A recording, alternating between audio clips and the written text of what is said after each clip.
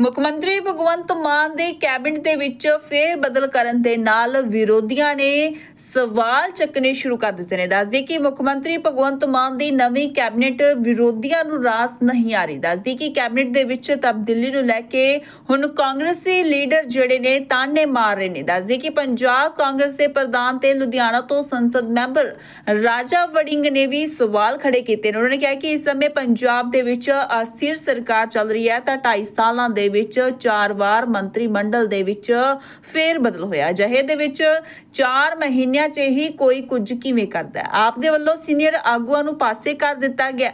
ਉਧਰ ਜਲੰਧਰ ਸ਼ੌਣੀ ਹਲਕੇ ਤੋਂ ਵਿਧਾਇਕ ਪ੍ਰਗਟ ਸਿੰਘ ਨੇ ਵੀ ਟਵੀਟ ਕਰਕੇ ਮੁੱਖ ਮੰਤਰੀ ਤੇ ਸਵਾਲ ਚੱਕੇ ਦੱਸਦੀ ਹੈ ਕਿ ਉਹਨਾਂ ਨੇ ਕਿਹਾ ਕਿ ਰੇਤ ਦੀ ਖੁਦਾਈ ਤੋਂ ਹਰ ਸਾਲ 20000 ਕਰੋੜ ਰੁਪਏ ਦਾ ਮੁਨਾਫਾ ਕਮਾਇਆ ਜਾਵੇਗਾ। ਉਹਨਾਂ ਨੂੰ ਆਪਣੇ ਕਾਰਜਕਾਲ ਦੇ ਦੌਰਾਨ ਇਸ ਵਿਭਾਗ ਦੇ ਚਾਰ ਮੰਤਰੀਆਂ ਨੂੰ ਬਦਲਣਾ ਪਿਆ। ਦੱਸਦੀ ਕਿ ਇਸ ਤੋਂ ਸਪਸ਼ਟ ਹੁੰਦਾ ਹੈ ਕਿ ਇਹ ਸਿਰਫ ਇੱਕ ਫੋਕਾ ਦਾਵਾ ਹੀ ਸੀ ਕਿ ਪ੍ਰਗਟ ਸਿੰਘ ਨੇ ਇਹ ਵੀ ਕਿਹਾ ਕਿ ਸਿਰਫ 2.5 ਸਾਲਾਂ ਦੇ ਵਿੱਚ ਸੂਬੇ ਦੀ ਭਗਵੰਤ ਮਾਨ ਸਰਕਾਰ ਨੇ ਚਾਰ ਮਾਈਨਿੰਗ ਮੰਤਰੀ ਬਣਾਏ ਤੇ ਹਟਾਏ ਨੇ।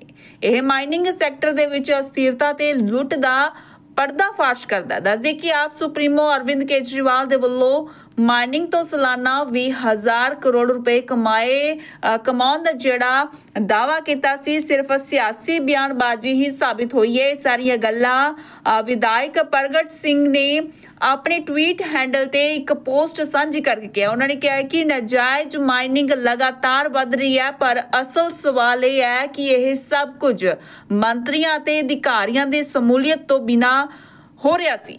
ਕਿ ਉਹ ਬੇਵਸਨ ਜਾਂ ਮਿਲੀ ਭੁਗਤ ਸੀ? ਅਜਿਹੇ ਤੱਕ, ਅਜੇ ਤੱਕ ਅਸੀਂ ਵੱਡੇ ਮਾਈਨਿੰਗ ਮਾਫੀਆ ਵਿਰੁੱਧ ਕੋਈ ਕਾਰਵਾਈ ਨਹੀਂ ਵੇਖੀ। ਦੱਸਦੇ ਕਿ ਵਿਧਾਇਕ ਪ੍ਰਗਟ ਸਿੰਘ ਨਾਜਾਇਜ਼ ਮਾਈਨਿੰਗ ਨੂੰ ਲੈ ਕੇ ਵਿਧਾਨ ਸਭਾ ਸਮੇਤ ਕਈ ਥਾਵਾਂ ਤੇ ਆਵਾਜ਼ ਉਠਾ ਚੁੱਕੇ ਨੇ ਤਾਂ ਉਹਨਾਂ ਨੇ ਕਿਹਾ ਸੀ ਕਿ ਮੇਰੇ ਹਲਕੇ ਜਲੰਧਰ ਛੌਣੀ ਦੇ ਵਿੱਚ ਕੋਈ ਦਰਿਆ ਨਹੀਂ ਵਗਦਾ, ਫਿਰ ਵੀ ਮੇਰੇ ਇਲਾਕੇ ਦੇ ਵਿੱਚ ਮਾਈਨਿੰਗ ਹੋ ਰਹੀ ਹੈ। ਸੋ ਇਸ ਦੀ ਵੀਡੀਓ ਵੀ ਸ਼ੇਅਰ ਕੀਤੀ, ਪਰ ਫਿਰ ਵੀ ਕੋਈ ਕਾਰਵਾਈ ਨਹੀਂ ਹੋਈ। ਤਾਂ ਸੋ ਅਜਿਹੇ ਦੇ ਵਿੱਚ ਮੁੱਖ ਮੰਤਰੀ ਭਗਵੰਤ ਮਾਨ ਦੀ ਨਵੀਂ ਕੈਬਨਿਟ ਜਿਹੜੀ ਹੈ, ਵਿਰੋਧੀਆਂ ਨੂੰ ਰਾਸ ਨਹੀਂ ਆ ਰਹੀ। ਸੋ ਕੈਬਨਿਟ ਦੇ ਵਿੱਚ ਤਬਦੀਲੀਆਂ ਨੂੰ ਲੈ ਕੇ ਕਾਂਗਰਸੀ ਲੀਡਰ ਹੁਣ ਤਾਨੇ ਮਾਰੇ ਨੇ। ਸੋ ਅਜਿਹੇ ਦੇ ਵਿੱਚ ਰਾਜਾ ਵੜਿੰਗ ਦੇ ਵੱਲੋਂ ਵੀ ਸਵਾਲ ਚੱਕੇ ਗਏ ਨੇ। ਉਹਨਾਂ ਦੇ ਵੱਲੋਂ ਕਿਹਾ ਗਿਆ ਕਿ ਅਸਥਿਰ ਤੌਰ ਤੇ ਪੰਜਾਬ ਦੀ ਸਰਕਾਰ ਚੱਲ ਰਹੀ ਹੈ ਤੇ 2.5 ਸਾਲਾਂ ਦੇ ਵਿੱਚ ਚਾਰ ਵਾਰ ਮੰਤਰੀ ਮੰਡਲ ਦੇ ਵਿੱਚ ਫੇਰ ਬਦਲ ਹੋਇਆ। ਸੋ ਅਜਿਹੇ ਦੇ ਵਿੱਚ 4 ਮਹੀਨਿਆਂ 'ਚ ਕੋਈ ਕੁਝ ਕਿਵੇਂ ਕਰ ਸਕਦਾ ਹੈ? ਸੋ ਆਪ ਦੇ ਵੱਲੋਂ ਸੀਨੀਅਰ ਆਗੂਆਂ ਨੂੰ ਪਾਸੇ ਕਰ ਦਿੱਤਾ ਗਿਆ ਹੈ। ਉੱਥੇ ਹੀ ਅ,